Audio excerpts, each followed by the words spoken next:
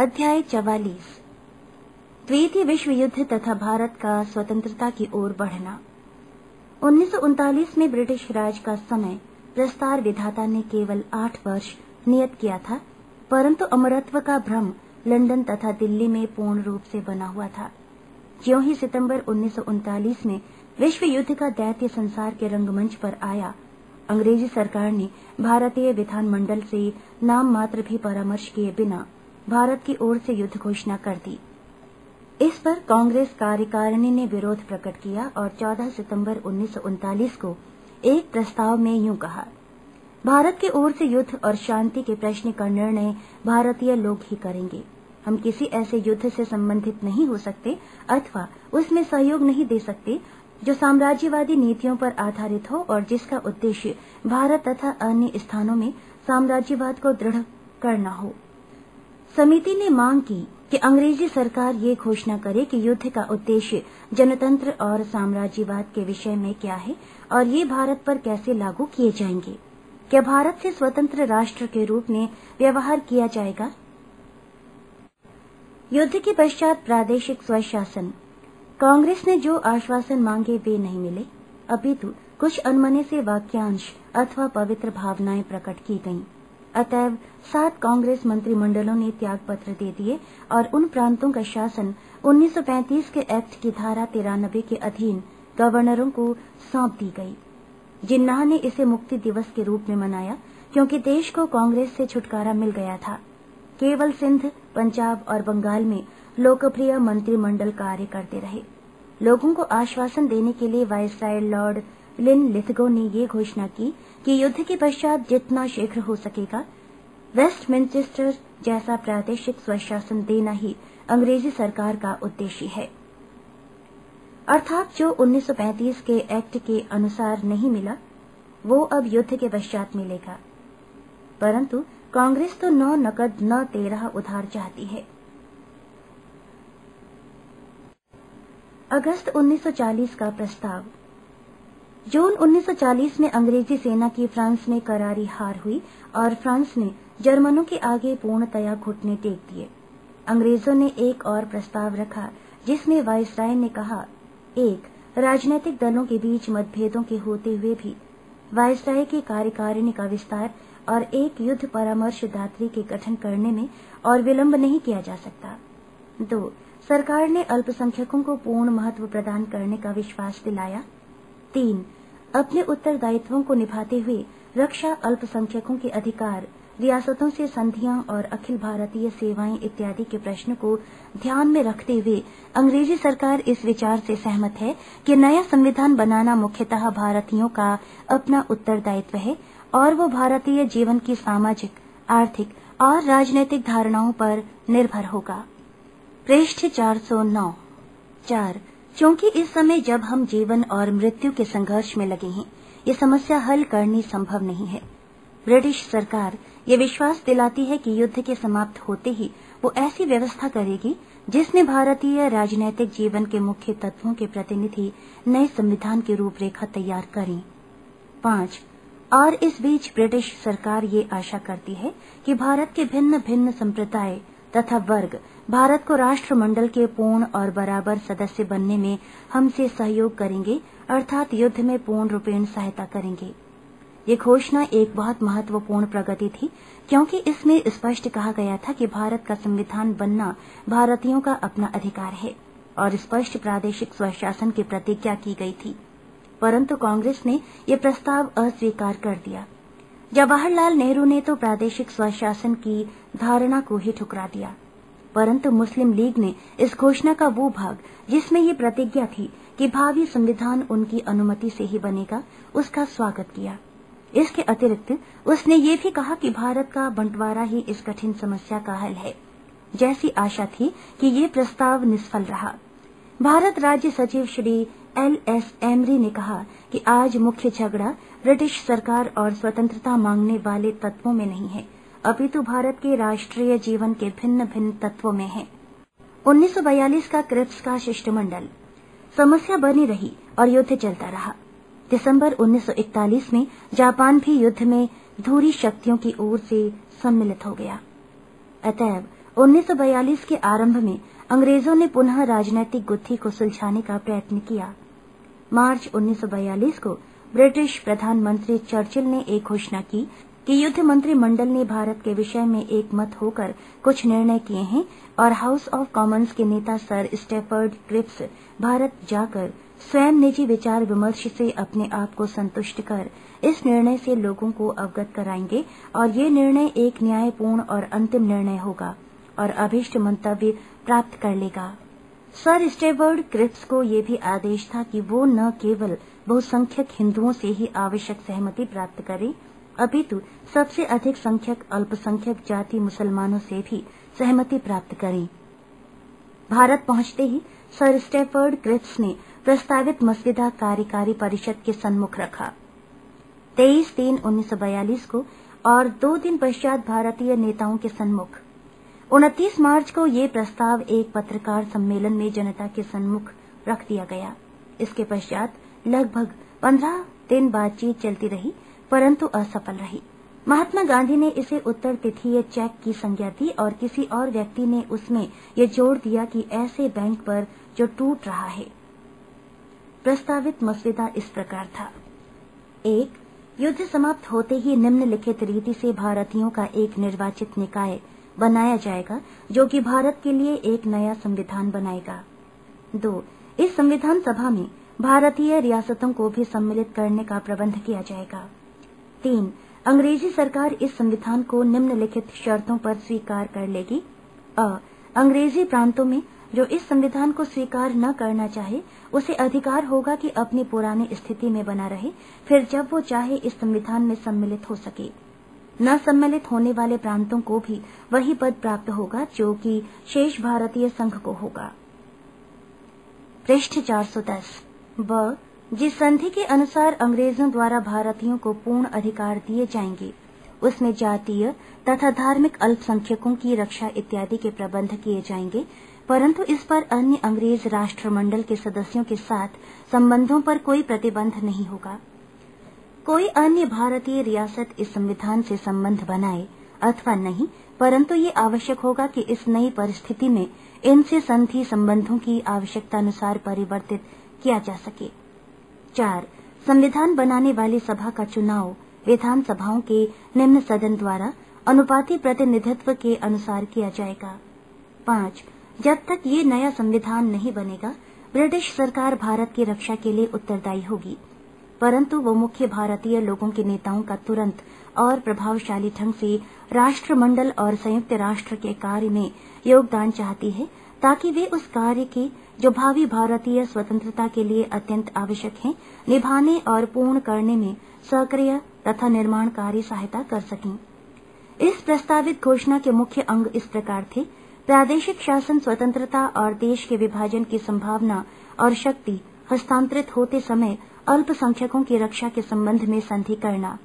जब तक नया संविधान न बने, तब तक गवर्नर जनरल की तत्कालीन स्थिति बनी रहे और अंग्रेज़ ही भारत की रक्षा के लिए उत्तरदायी हों। जैसा कि पंडित जवाहरलाल नेहरू ने कहा था, समकालीन सरकार का ढांचा उसी प्रकार रहेगा और वायसराय की निरंकुशता बनी रहेगी और हम में से कुछ लोग वर्दी पहनकर उसके सेवक बन जाएँगे। तथा अल्पाहार गृहों इत्यादि की देखभाल करना आरंभ कर देंगे। इस प्रस्ताव पर विचार। इस घोषणा में अगस्त प्रस्ताव से निश्चय ही कुछ अधिक अधिकार देने की बात कही गई थी। अर्थात, इसमें ब्रिटिश राष्ट्रमंडल से अलग होने की बात कही गई थी। संविधान बनाना मुख्यतः नहीं अभी तो पूर्णतः भारतीयों का काम होगा। संविधान सभा का उल्लेख था।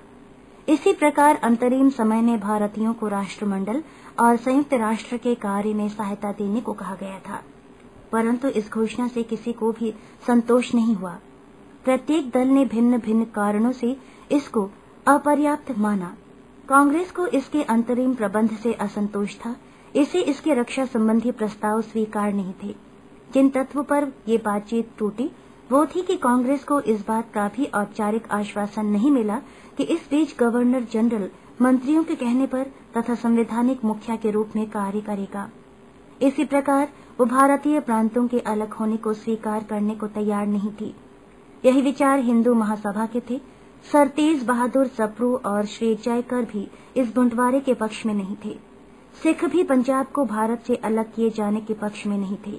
इस प्रकार पिछड़ी हुई जातियाँ भी अपने लिए संरक्षणों के न मिलने से अप्रसन्न थी। मुस्लिम लीग एक संघ बनाए जाने, संविधान सभा की रचना तथा एक प्रांत के पृथक होने के लिए उसकी इच्छा जानने की विधि इत्यादि से अप्रसन्न थी। विशेषकर इसलिए कि उसमें स्पष्ट पाकिस्तान बनाए जाने की बात नहीं कही गई थी। इन त्रुटियों के अतिरिक्त अंग्रेज़ों का ये भी कहना था कि ये योजना अगस्त 1940 की योजना का ही रूप है, जिसको अधिक स्पष्ट किया गया है। इसका उद्देश्य उस पुराने प्रस्ताव का अतिक्रमण करना नहीं था। इन शब्दों से बहुत निराशा हुई, क्योंकि ऐसा लगा कि अंग्रेज़ों का उद्देश्य शक्ति का हस्तांतरण करना नहीं है। इसी प्रकार प्रांतों के पृथकीकरण की प्रक्रिया भी इस प्रकार की थी, जिसमें पंजाब और बंगाल में हिंदुओं की परिस्थिति बहुत ही डावाडोल हो जाती थी। इसके अतिरिक्त उत्तरदायित्व का हस्तांतरण करते समय संधि किससे होगी, उस संधि की व्याख्या तथा उसको लागू करने का अधिकार किसका होगा, यह सभी स्पष्ट नहीं था। ये स्पष्ट योजना, जिसमें क्रिप्स का नाम जुड़ गया है, केवल सभी भारतीयों की युद्ध में सहायता प्राप्त करने का एक उपाय मात्र लगता था। एक शुद्ध भावना से किया हुआ भारतीय समस्या का हल नहीं था। जैसा कि प्रोफेसर हेरल्ड जे लास्की ने कहा था, इस समस्त प्रक्रिया में केवल एक ही अच्छी बात थी, वो थी सर स्टेफर्ड क्रिप्स का स्वयं जाना, जिसके लिए श्री एटली को श्रेय मिलना चाहिए। इसमें बहुत जल्दी की गई इसमें सर स्टेफर्ड क्रिप्स का ये कहना कि इसे स्वीकार करो अथवा छोड़ दो और वापस लौटने पर यह कहना कि ये प्रस्ताव समाप्त हो गया है, ये अच्छा नहीं था। इससे ये लगता था कि हमारा उद्देश्य भारत की स्वतंत्रता देना नहीं, अभी तो अपने मित्रों में एक प्रकार का प्रचार करना था, जो प्रायः अमेरिका, फिलीपींस के संबंधों की भारत आंगल संबंधों से तुलना किया करते हैं। प्रायः क्रिप्स शिष्टमंडल के प्रस्तावों को पूर्णतया असफल समझा जाता है। परंतु युद्ध के जीतने पर वही टूटते हुए बैंक पर उत्तर तिथीय चेक की हुंडी सकारित हो गई। पृष्ठ 411 भारत छोड़ो प्रस्ताव और अगस्त 1942 का विद्रोह। ट्रिप्स शिष्टमंडल की असफलता से सभी को निराशा हुई। अभी तक कांग्रेस ने कोई ऐसा कार्य नहीं किया था सिवाय संविधान सभा की मांग के, जिससे अंग्रेज़ों को परेशानी हो। परंतु अब जबकि जापान लगभग देश के द्वार पर खड़ा था, कांग्रेस चुप नहीं रह सकती थी। गांधी जी ने अब अप्रैल 1942 में अंग्रेज़ों के सुव्यवस्थित ढंग से भारत से चले जाने की बात कही। उनके अनुसार जो भी हो, अब भारतीयों और अंग्रेज़ों की कुशलता इसी में थी कि अंग्रेज़ भारत से चले जाएँ। अब भारत छोड़ो का नारा प्रसिद्ध हो गया।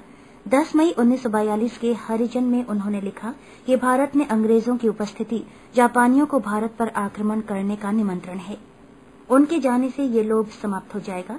इसी प्रकार कुछ दिन पश्चात उन्होंने उसी पत्र में लिखा कि भारत को ईश्वर के हाथों में अथवा अराजकता में छोड़ दो। तब सभी दल कुत्तों की भांति लड़ेंगे और जब वास्तविक उत्तरदायित्व सिर पर पड़ेगा तो स्वयं वास्तविक समझौता कर लेंगे। इसी प्रकार 14 जुलाई 1942 को कांग्रेस कार्यकारिणी ने अंग्रेज़ों को चले जाने का प्रस्ताव पारित किया और स्पष्ट कहा कि यदि ये अपील स्वीकृत नहीं होती तो हम लोग महात्मा गांधी के नेतृत्व में देश में एक सविनय अवज्ञा आंदोलन चलाने के लिए बाध्य हो जाएँगे। 8 अगस्त 1942 को बम्बई में हुई अखिल भारतीय कांग्रेस कमेटी की बैठक में इस प्रस्ताव का समर्थन हुआ और ये कहा गया कि भारत में अंग्रेज़ी राज्य की समाप्ति भारत और संयुक्त राष्ट्रों दोनों के हित में है। इस राज्य के बने रहना भारत के लिए अपमानजनक है और उसे दिन प्रतिदिन क्षीण कर रहा है और उसे अपनी रक्षा के असमर्थ बनाता जा रहा है और संसार की स्वतंत्रता में भी योगदान देने में बाधा है। फल स्वरूप अगले दिन ही गांधी जी और कांग्रेस कार्यकारिणी के सभी सदस्य बंदी बना लिए गए और अखिल भारतीय कांग्रेस कमेटी तथा प्रांतीय कांग्रेस कमेटियों पर प्रतिबंध लगा दिया गया। परंतु लोगों ने इसको चुपचाप स्वीकार नहीं किया। देश में विपल्लव उठ खड़ा हुआ। स्थान स्थान पर सार्वजनिक माल, संपत्ति इत्यादि की हानि हुई, गोलियाँ चली।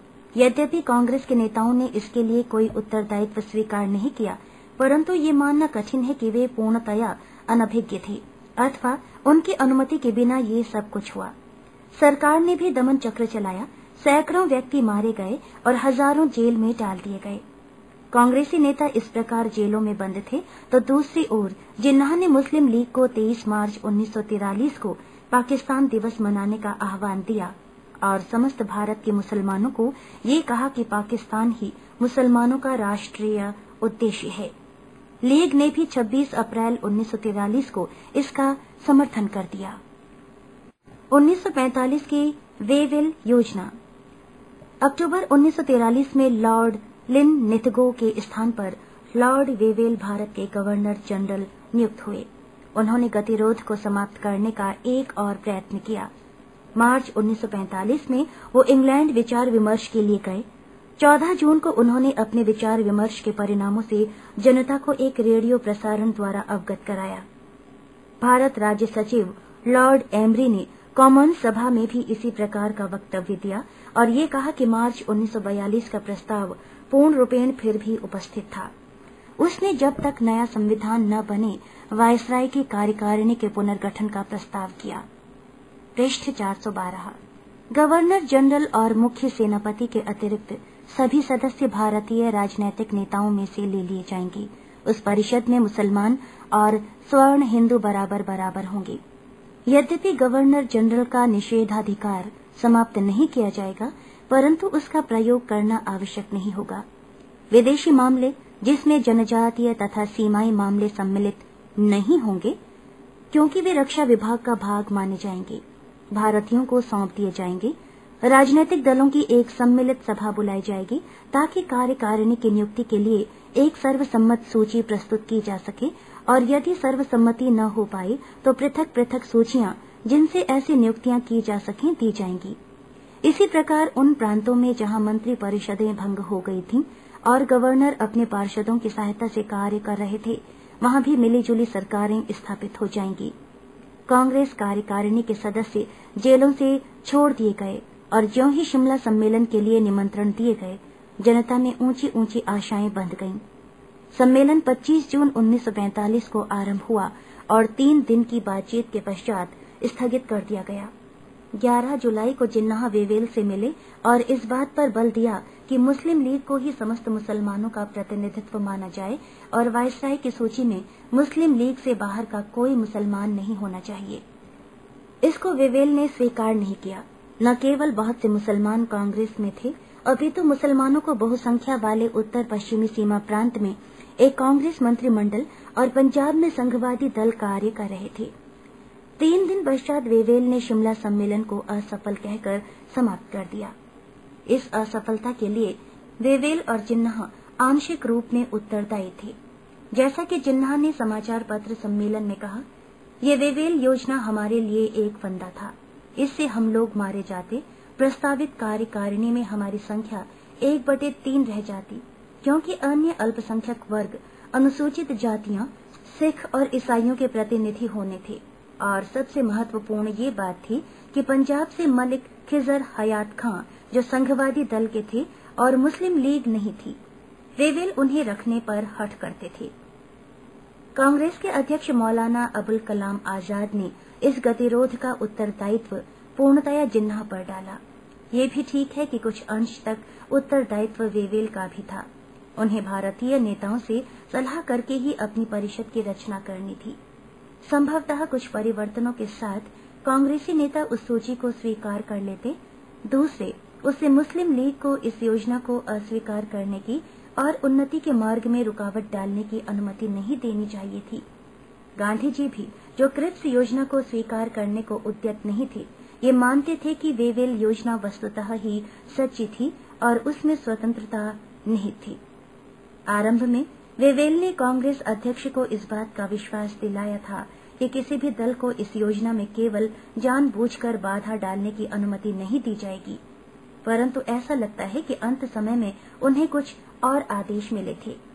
परंतु शिमला सम्मेलन का एक परिणाम ये हुआ कि जिन्ना की स्थिति और भी सुदृढ़ हो गई और 1945 से 46 के मध्य के चुनाव में ये स्पष्ट हो गई। कुछ आलोचकों का विचार है कि शिमला सम्मेलन चर्चिल की सरकार पर लेबर पार्टी की संभावित विजय अथवा रूस के दबाव के कारण हुआ, जैसा कि क्रिप्स शिष्टमंडल अमेरिका के दबाव के कारण था। 1945 से 46 के चुनाव। शिमला सम्मेलन के विफल होने से भारत में बहुत निराशा हुई, परंतु शीघ्र ही आशा की एक और किरण दिखाई दी। 10 जुलाई 1945 को श्रमिक दल की सरकार ने इंग्लैंड की राज सत्ता संभाल ली और लॉर्ड पैथिक लॉरेंस, जो भारत के पुराने मित्र थे, भारत राज्य सचिव बने। भारत के प्रति अंग्रेज़ी रुख भी बदल गया। इसके लिए कई कारण थे। युद्ध के पश्चात अंतर्राष्ट्रीय जटिलताएँ उत्पन्न हुई और दिल्ली के लाल किले में सुभाष बोस की भारतीय राष्ट्रीय सेना के तीन अफसरों के विरुद्ध कोर्ट मार्शल में मुकदमे चले। कांग्रेस ने उन अफसरों का पक्ष लिया और इन अफसरों के आदर्शों और उद्देश्यों का पूर्ण रूपेण समर्थन किया। पृष्ठ 413 लेबर पार्टी की सरकार बनने के पश्चात लॉर्ड वेवेल को पुनः इंग्लैंड विचार विमर्श के लिए बुलाया गया। साथ में ये भी घोषणा की गई कि भारत में केंद्रीय तथा प्रांतीय चुनाव कराए जाएँगे और लॉर्ड वेवेल लंदन जाएँगे। 19 सितंबर 1945 को ये भी कहा गया कि चुनावों के तुरंत पश्चात भारत का संविधान बनाने के लिए भिन्न भिन्न राजनीतिक दलों की सहायता से एक सभा गठित की जाएगी। उसने ये भी आशा व्यक्त की कि नेता लोग मंत्रियों का उत्तरदायित्व स्वीकार कर लेंगे। उसी दिन अंग्रेज़ी संसद में प्रधानमंत्री एटले ने ये घोषणा की कि 1942 के प्रस्ताव अभी भी विद्यमान हैं और अंग्रेज़ सरकार उन्हीं के अनुसार सब कार्य कर रही है। इसके पश्चात 4 दिसंबर को लॉर्ड पैथिक लॉरेंस ने लॉर्ड सभा में एक वक्तव्य दिया जिसमें कहा कि प्रस्तावों के पूर्ण महत्व को समझा नहीं गया है और अंग्रेज़ सरकार संविधान सभा के गठन को बहुत महत्व देती है। उन्होंने भारत में साम्राज्य संसदीय शिष्टमंडल के तत्वाधान में एक संसदीय शिष्टमंडल भेजने का सुझाव दिया। परंतु पुनः ये स्पष्ट कर दिया कि इस शिष्टमंडल को अंग्रेज़ों को किसी नीति विशेष का अनुसरण करने पर बाध्य करने का अधिकार नहीं होगा। लॉर्ड वेवेल ने 10 दिसंबर 1945 को कलकत्ता में संयुक्त व्यापार मंडल की वार्षिक सभा में ये कहा कि भारत छोड़ो, एक जादू नहीं है। अभी तो सद्भाव, सहकारिता तथा धैर्य की आवश्यकता है। 1945 से 46 के हेमंत काल में केंद्रीय तथा प्रांतीय चुनाव हुए। कांग्रेस ने लगभग सभी प्रांतों में लगभग सभी अमुस्लिम स्थान प्राप्त कर लिए। इसके अतिरिक्त उत्तर पश्चिमी सीमा प्रांत में मुसलमानों के स्थानों की बहुसंख्या और इसके अतिरिक्त यूपी, सीपी, बिहार और आसाम में कुछ मुस्लिम स्थान भी प्राप्त कर लिए। यदि मुस्लिम लीग ने मुसलमानों के अत्यधिक स्थान जीते, परंतु फिर भी वो केवल सिंध और बंगाल में ही मंत्रिमंडल बना सकी, पंजाब में यद्यपि मुस्लिम लीग सबसे बड़े दल के रूप में आगे आई, परंतु हिंदू, सिख और यूनियनिस्ट दल के हिंदू और मुसलमान विधायकों ने एक मिला जुला मंत्रिमंडल मलिक खिजर हयात खां के नेतृत्व में बनाया। शेष आसाम, बिहार, यूपी, उत्तर पश्चिमी सीमा प्रांत बम्बई मद्रास, मध्य प्रांत और उड़ीसा में कांग्रेस के मंत्रिमंडल बनाए गए। संसद का शिष्टमंडल 1946 की जनवरी में भारत आया, जब चुनाव हो रहे थे और उसने राजनीतिक स्थिति का प्रत्यक्ष अध्ययन किया। 1946 मंत्रिमंडलीय शिष्टमंडल योजना। 19 फरवरी 1946 को लॉर्ड पैथिक लॉरेंस ने हाउस ऑफ़ लॉर्ड्स में घोषणा की कि मंत्रिमंडल का शिष्टमंडल, जिसमें वो स्वयं सर स्टेफर्ड क्रिप्स और ए वी एलेक्जेंडर होंगे, भारत जाएगा ताकि वायसराय की सहायता से भारतीय नेताओं से राजनीतिक मामलों पर बातचीत कर सके। इसी घोषणा पर वाद विवाद में बोलते हुए प्रधानमंत्री एटली ने कहा कि हम अल्पसंख्यकों के अधिकारों से भली भांति जागरूक हैं और चाहते हैं कि अल्पसंख्यक बिना भय के रह सकें परंतु हम ये भी स्वीकार नहीं करेंगे कि अल्पसंख्यक लोग, बहुसंख्यक लोगों की उन्नति में आड़े आएँ।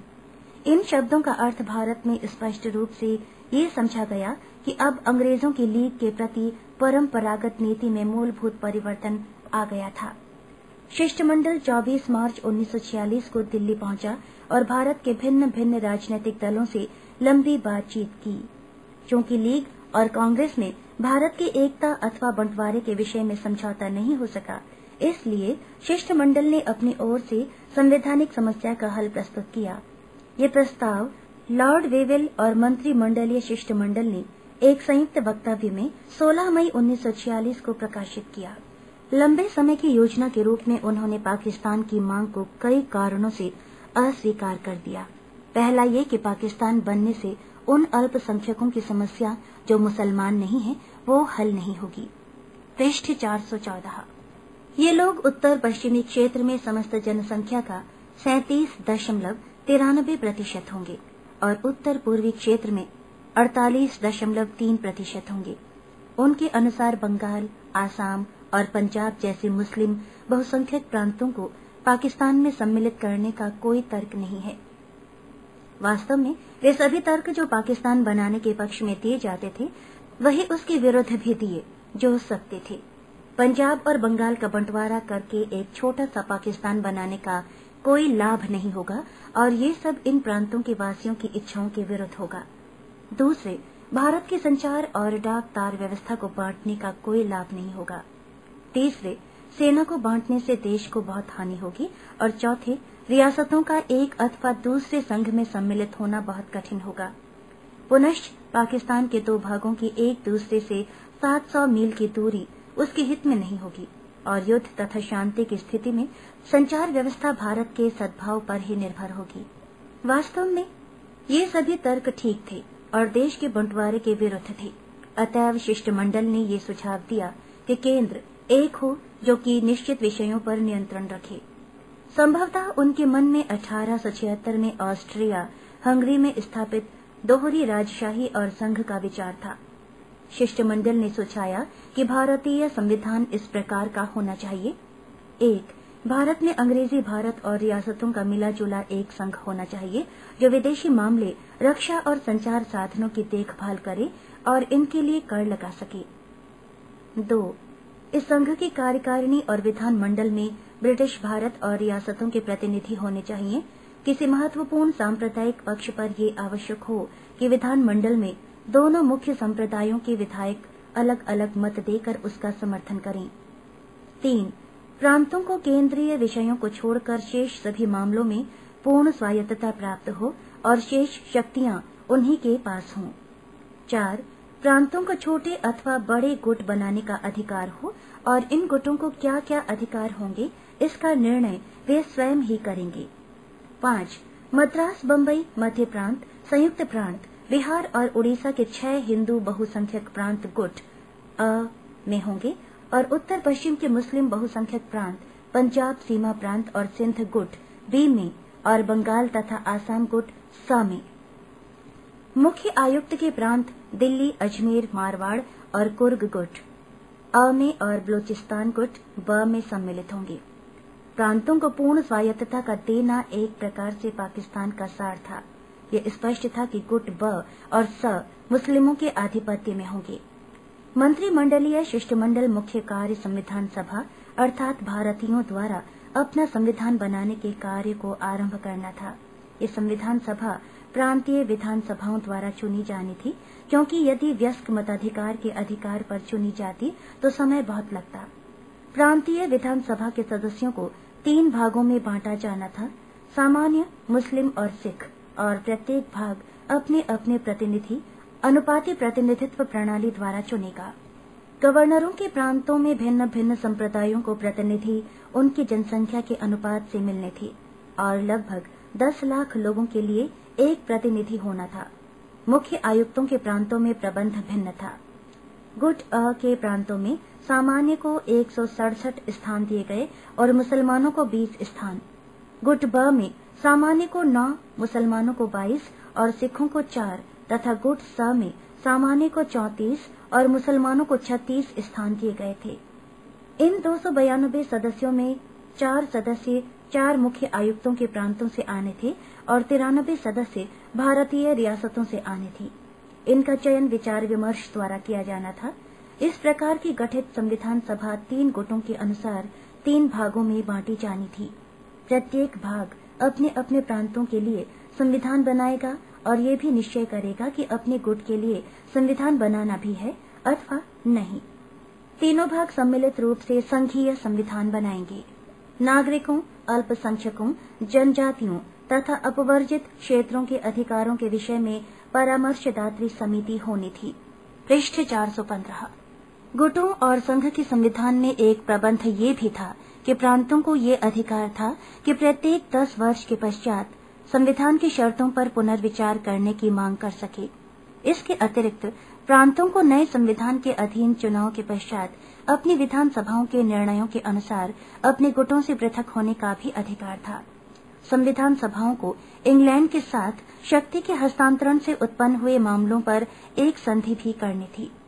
भारतीय रियासतों के विषय में शिष्टमंडल ने ये कहा कि ज्यों ही संविधान अस्तित्व में आ जाएगा, त्यों ही अंग्रेज़ों की सर्वोच्चता समाप्त हो जाएगी, अर्थात जो भी अधिकार रियासतों ने अंग्रेज़ों को दे दिए थे, वे सभी उन्हें पुनः प्राप्त हो जाएँगे और अंग्रेज़ों और रियासतों के बीच राजनीतिक संबंध समाप्त हो जाएँगे।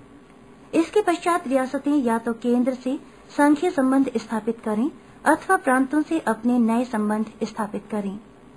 शिष्टमंडल का ये भी सुझाव था कि एक अंतरिम सरकार बनाई जाए जिसे मुख्य राजनीतिक दलों का समर्थन प्राप्त हो और जिसमें सभी विभाग रक्षा समेत भारतीय नेताओं के हाथों में हों। इस योजना के गुण और अवगुण। इस योजना का मुख्य गुण ये था कि संविधान सभा लोकतंत्रवादी सिद्धांत जनसंख्या पर आधारित था और पुराना गुरुत्व का सिद्धांत समाप्त हो गया था। इसके अतिरिक्त सांप्रदायिक प्रश्न का बहुसंख्या के आधार पर निर्णय करना था। यद्यपि उनके लिए संरक्षणों का प्रबंध था, इसी प्रकार एक गुण ये भी था कि पाकिस्तान का विचार पूर्णतया छोड़ दिया गया था। इसके अतिरिक्त ये भी एक महत्वपूर्ण बात थी कि संविधान सभा के सदस्य ब्रिटिश सरकार अथवा यूरोपीय अधिकारी कोई नहीं थे। और प्रांतीय विधानसभाओं में भी मत डालने के समय यूरोपीय सदस्यों को अनुपस्थित रहना था। महात्मा गांधी के कहने पर कि यूरोपियों को मताधिकार न हो, इन यूरोपीय सदस्यों ने ये स्वीकार कर लिया कि वे चुनाव में खड़े नहीं होंगे और भारतीयों के चुनाव में ही मताधिकार का प्रयोग करेंगे। यूपी के अंग्रेज़ सदस्यों ने चुनाव में भाग लिया, परंतु आसाम और बंगाल के सदस्यों ने नहीं। इस संविधान सभा के कार्य में किसी प्रकार की बाधा नहीं डाली गई और उसे अपनी इच्छानुसार कार्य करने दिया गया। इस योजना के अवगुणों में मुख्यतः ये थे। एक, मुस्लिम अल्पसंख्यकों के हितों की रक्षा तो की गई थी, परंतु पंजाब में सिखों के हितों की नहीं। दो, प्रांतों के गुटों के विषय में भी मतभेद थे। लीग समझती थी कि गुट बनाना आवश्यक है, परंतु कांग्रेसी समझते थे कि वो वैकल्पिक है, और अंत में अंग्रेज़ों ने भी कांग्रेसी विचार का समर्थन किया। तीन संविधान बनाने की श्रृंखला भी विचित्र सी थी। पहले गुट और प्रांतों का संविधान बनाओ, फिर केंद्र का, और इस प्रकार गाड़ी घोड़े के आगे जोत दी गई थी। संविधान सभा के चुनाव और एक राष्ट्रीय सरकार का गठन। बहुत अनिच्छा के साथ कांग्रेस और लीग ने मंत्रिमंडलीय शिष्टमंडल की योजना स्वीकार कर ली। कांग्रेस प्रांतों के गुट बनाने पर अप्रसन्न थी और लीग पाकिस्तान के न मानने पर। शिष्टमंडल ने लौटने से पूर्व एक घोषणा की कि उन्हें संतोष है कि संविधान बनाने का कार्य प्रमुख राजनीतिक दलों के सहयोग से चलता रहेगा, परंतु उन्हें खेद था कि कुछ बाधाओं के कारण बहुदलीय अंतरिम सरकार नहीं बन सकी। उन्होंने आशा व्यक्त की कि संभवतः ऐसा संविधान सभा के चुनाव के पश्चात हो सकेगा।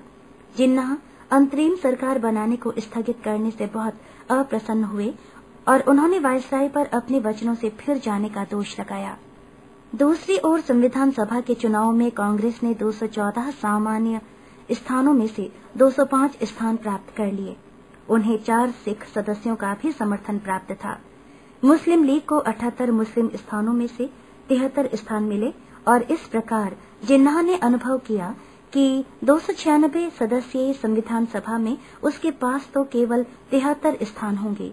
जो कि 25 प्रतिशत से भी कम थे, और इस प्रकार वो पूर्णतया आच्छादित हो जाएगा। झट ही 29 जून 1946 को लीग ने शिष्टमंडल योजना को अस्वीकार कर दिया और यही नहीं, अभी तो एक और सीधी कार्यवाही का प्रस्ताव पारित किया, जिसमें उन्होंने अंग्रेज़ों और कांग्रेस दोनों को अविश्वसनीय कहा और कहा कि अब समय आ गया है कि पाकिस्तान की प्राप्ति के लिए वे सीधी कार्यवाही करें।